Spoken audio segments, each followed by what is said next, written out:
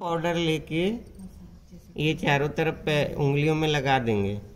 उसके बाद ये उंगली की जो रूट है, रूट जड़, उसमें ऐसे ऐसे पंद्रह बीस बार रबिंग करना है।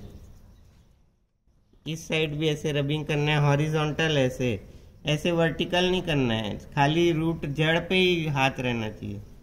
ये ऐसे। चारों तरफ़ रबिंग करना है। अब देखिए, इनको क्या क्या प्रॉब्लम है? यहाँ से डायग्नोसिस हो जाता है। एक तो ये स्टमक पॉइंट है।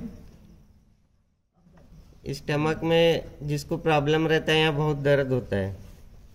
ये दोनों पैंक्रियाज के पॉइंट है ये। जैसे शुगर वाले होंगे या पैंक्रियाज में प्रॉब्लम होगा तो ये ऐसे ट्विस्ट करने से काफ़ी दर्द होगा ये। ये और ये उंगली पैंक्रियाज को डायग्नोसिस करने के लिए है ये। ये गॉल ब्लेडर के लिए है। लेफ़्ट हैंड में ये गॉल ब्लेडर इनको गॉल ब्लेडर में कुछ तकलीफ़ करके बहुत ज़्यादा दुख रहा है ये। वो हर किसी को गॉल स्टोन डेवलप हो जाता है कोलेस्ट्रॉल बढ़ने से। नहीं नहीं ये नहीं नहीं साइड से। नाखून से तो खोला जाए। पाउडर इसलिए करते होंगे कि फिसले हाथ। हाँ रगड़ नहीं पड़े चमड़ी को डैमेज नहीं हो इसीलिए। ये लीवर का है। ये लीवर पॉइंट है।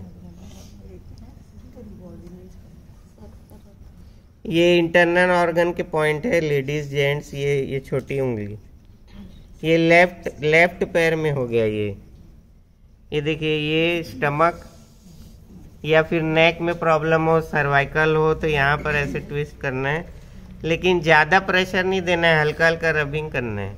ये खाली चेक करने के लिए ऐसे दबा रहा हूँ मैं।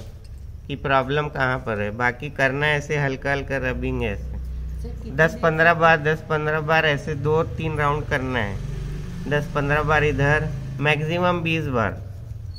इधर इधर